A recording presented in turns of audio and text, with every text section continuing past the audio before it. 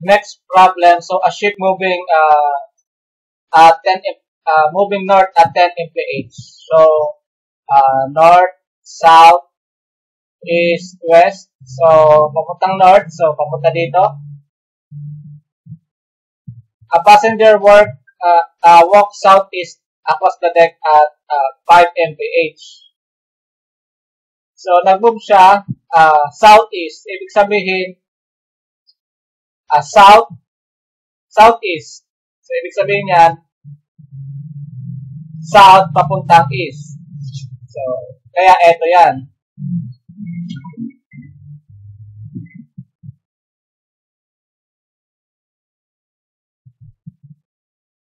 So, ito yung direction ng uh, ship.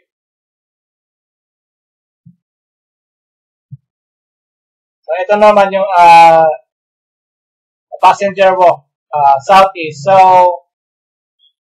south, papuntang east, so ibig sabihin ang reference natin dito is ito. So, 45 degree. So, so, ang,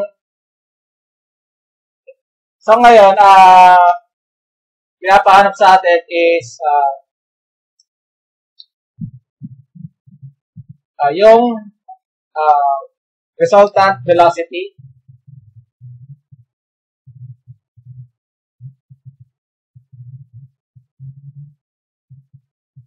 So, ito yung, uh, dito banda yung resultant niya kung ipaproject natin yung uh, mga given. So, so, angle between uh, noong So, kung ito ay uh, 45, so ang angle between dito ng 10 and the angle between 10 and 5 is 45. So, ito, pwede natin project dito since parallel siya.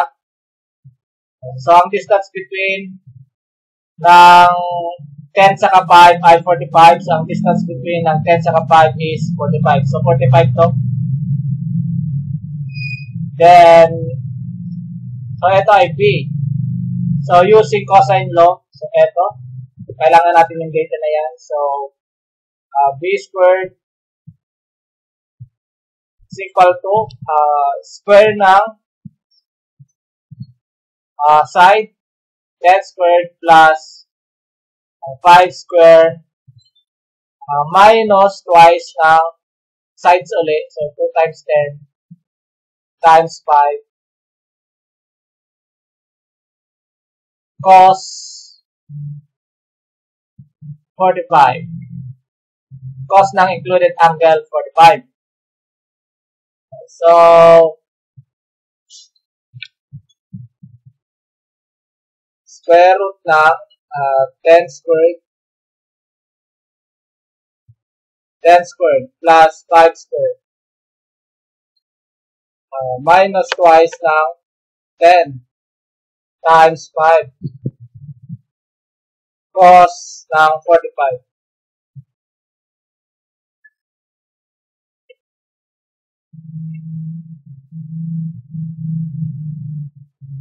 So, equal to 7.36. So, velocity is 7.37.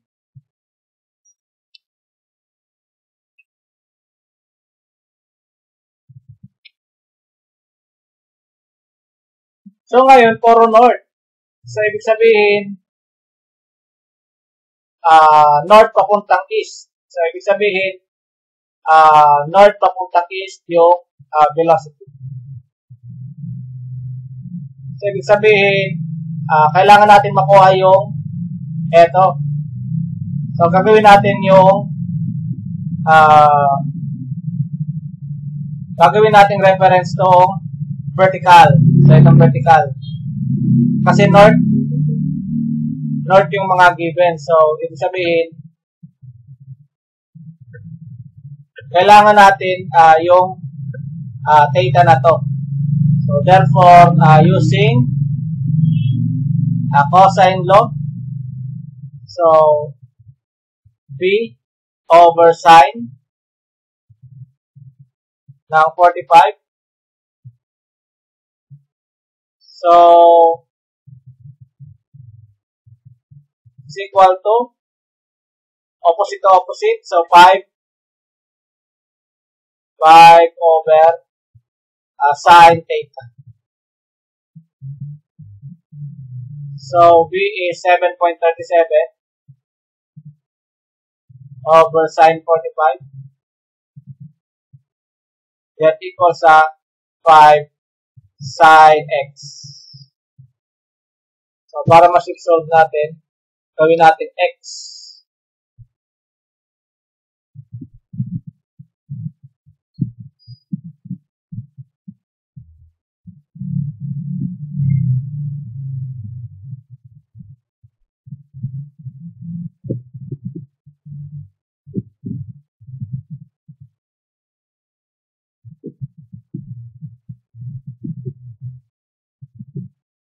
28.66.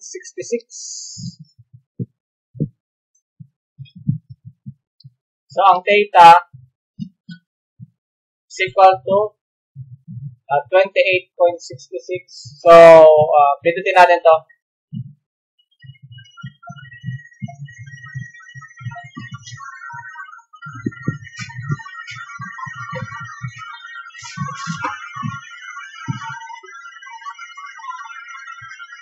So, 28.667. So, equal natin. So, pindutin natin to. 28, uh, 40, 28 degree, 40 minutes.